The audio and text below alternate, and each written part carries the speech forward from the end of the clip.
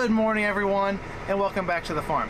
Giving you our start of the day update in the grain cart tractor because it's very windy outside, so I just want to forewarn you, maybe an issue with the audio. I apologize if that bothers any of you, but hey, we deal with Mother Nature. I don't have much say in what goes on.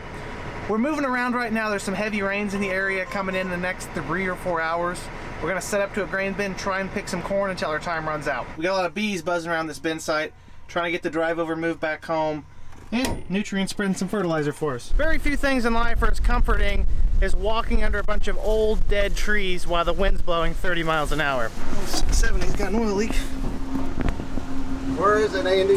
I think it's coming out of a valve body back under the... Move it in and out so I can see. Looks like it's like at the bottom of the main engine gear case. There's, it's wet there. That back valve body. Back valve body on what? This? On the front side, there's a valve body down there that is wet. That wire you just pulled on, Wire. the conduit stuff you pulled on, Yeah? follow that wire down, and the valve body I'm talking about is right there. I don't know if you can get your hand down there. Oh, I see that.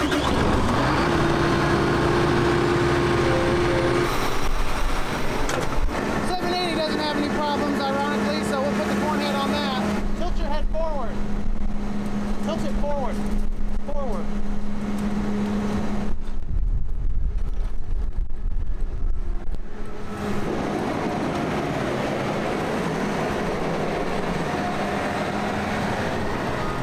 Getting this 35 foot draper out of the way somewhat in case one of our truck drivers gets a wild hair loading the bin.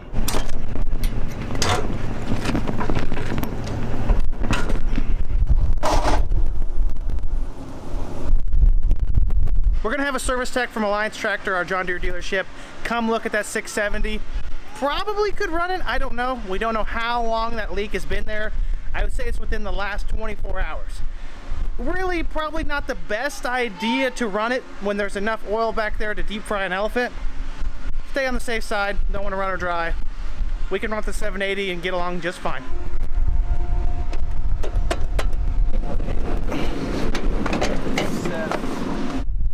Straighten it out and come back.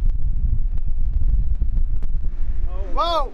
I mentioned yesterday when Dad crossed that Kentucky bridge down through the creek that he almost flipped the combine backwards. I thought he came out unscathed, but it looks like he bent his wheelie bar. So he must have gotten pretty far back. Seemed like the PowerCast tailboard was running fine all yesterday, so hopefully it's just a uh, cosmetic issue. We can order a new bar here and get it back to straight. Dad and Katie brought me a soybean plant to go. While we we're finishing setting up the auger, they ran over and checked out a field where we left a couple acres to see if we could cut them today before the rain. Pods are definitely kind of tough still to cut them. They're not extremely pliable. Combine might have a hard time breaking those open. Still pretty wet. Sun's not out, but the wind's blowing very fast if you haven't noticed. I'd say 16%, which is too wet to cut them and take them the elevator. Maybe if the sun pops up, we could squeeze them out of there before the rain. Hard telling though. Now there's a fragrance right there. Rotten soybeans. You turn this into a candle, but it wouldn't be one that people actually wanted. It'd be kind of like a troll one, like those jelly beans that taste horrible.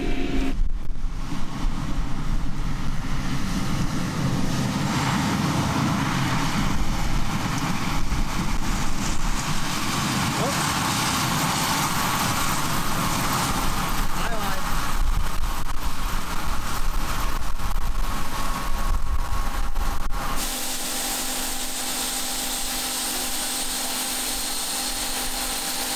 That was a lot of corn in that hopper. I was completely empty. Pretty impressive how much it can fit, especially when you push it to the limit, or actually past the limit because it was running over the sides. I promise you all that that was worse than it looked. She radioed me and asked me if she was good to keep going. I guess I didn't properly account for the hillside, the 300 bushel corn, and gravity. It happens to us all. I'm not a combine operator, how would I have known? We are back at the field that we got rained out on four or five days ago. Got maybe 30 acres to finish here. Hopefully this time around when we leave, there's no corn left. No one's gonna know. Cover it up, can't even tell it happened. The corn out here on this light dirt is phenomenal. Look at the ear size and look at the ground. It's literally gravel. I wouldn't be surprised if the entirety of this field did not average over 240 dry, which is really impressive, like I said, because this is not going to be your farm of choice if you had to pick amongst all of our parcels. I wonder if the IRS would allow you to deduct spilled grain as ecosystem charity. It's like a donation to the wildlife. I can almost guarantee you that the deer will have found that by the end of the night. One deer loses it, another deer eats it. Not looking good for us in terms of rainfall. That is about three miles away. And not to mention there's heavier storms to the southwest, kind of making its way to the northeast. I don't know if we'll even be able to finish this field. No, no. It's not looking good. We got raindrops already. We're doing our best to beat the rain. Running seven miles an hour dumping. Well, that's not a good sign. appears to me that the storm is getting stronger as it gets closer. We've probably got another five to ten minutes if we're lucky. Our time is limited. Doing our absolute best to get as much out of this field as possible. I don't think we have much longer. There's the rain, about a mile to the west. And it doesn't look like a light one. The rain's picking up quite a bit here, you just want to call it? That's the rest of that on that semi. I told it, told you so. 10 4, only got like 200 bushel. And then nothing. That is where we are right now. Might get lucky and miss the heaviest part of it. It ain't over till the fat lady sings. She hasn't sung yet, but she's definitely stretching out her vocal cords at this point. Just another instance of me wishing I had a fancy power tarp. It's so windy that this tarp is canting over. Boy. Ted and I just had a meeting of the minds, looked at the radar app on my phone, and much to our surprise, someone's looking out for us today because the storm split around us. We're gonna try and pick some more. Told you, she hadn't sung yet. You can't make this stuff up. Look at that. Right around us. Look at that. It just gapped around us. But we're firing her back up. Let's go. I wish one of you would have told me that was to happen before I tarped this darn green cart. Well, I guess she hadn't left the building. She was probably just taking a bathroom break because now it's raining very hard. We were luckily unlucky, if that's even possible. We cleared that first one and then another one just popped up right behind it. And there's another one behind it, so we may be done for the day. When the water is running off your roof like that, that's a good sign that it's quitting time. Not this again. Oh man.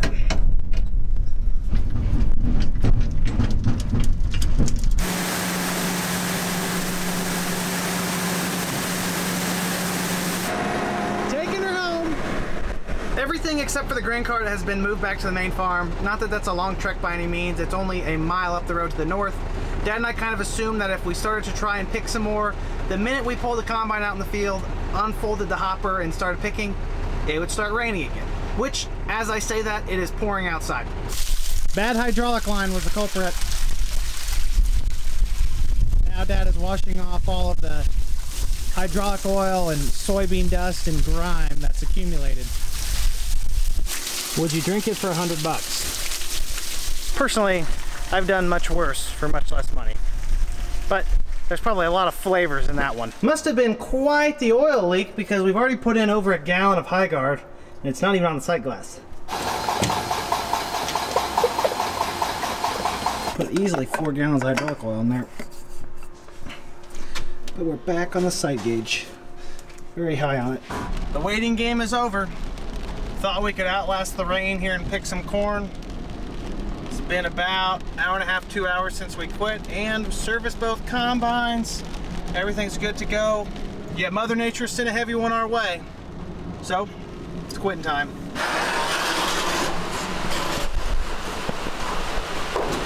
Not only have we had a decent amount of rainfall here, enough to stop the combines for the short term, now they have a tornado watch across all of central Illinois. I would venture to say that if any of that comes to fruition, we won't be harvesting again tomorrow either.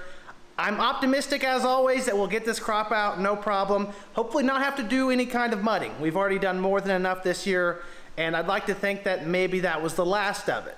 That being said, I'll keep you guys all posted on that. I wanted to take a quick moment to talk about the fertilizer we saw earlier. We're spreading red potash or 0062 and DAP or diammonium phosphate 18460. Those are the chemical compositions of nitrogen, potassium, and phosphorus. I've mentioned numerous times this growing season about how high fertilizer prices are. Even though it's a very large expense to take on, we don't want to cut back too much. Now, as opposed to putting on 300 and 300, we might be putting on 250 and 250. With these yields we're pulling off of fields, we don't want to back it off too much because we'd be essentially mining the soil or taking out more than we're putting in. It's kind of a short-term gamble to back off this year, thinking that maybe next year will be cheaper. For instance, last year was the cheapest fertilizer prices in like a 10 year period. So we did happen to load up last year, so we're gonna pull back a little bit, not completely by any means, and then maybe if we're lucky next year, We'll bump it back up to the 300s. That way we have a lot of fertility. We have always been very adamant about keeping a keen eye on the soil fertility. That's why we're putting lime on to manage that pH. And we wanna make sure that our potassium and phosphorus levels are high enough to support these crops we're producing. Anyways, we can probably discuss that more in another video. I think I'm gonna pull the plug here. That's more than enough farming for one video. As always, I appreciate you guys tuning in. Like the video if you enjoyed it, subscribe if you wanna see more, and comment down below if you have any questions. You know I love to talk about farming. Have a great day, everyone. Peace.